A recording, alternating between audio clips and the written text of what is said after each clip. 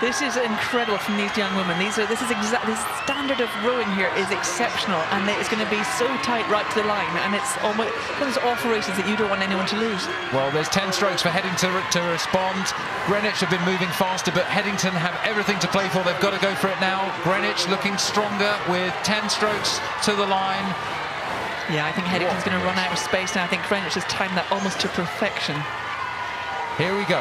Greenwich, USA, looking to make it through to Henley finals. Cross the line first, half a length over Headington School. Relentless, relentless attacking rowing here at Henley. Oh, heartbreaking for Headington, really is. What an impressive race from them, though. But fair play to Greenwich crew. That is that is how to race the Henley course.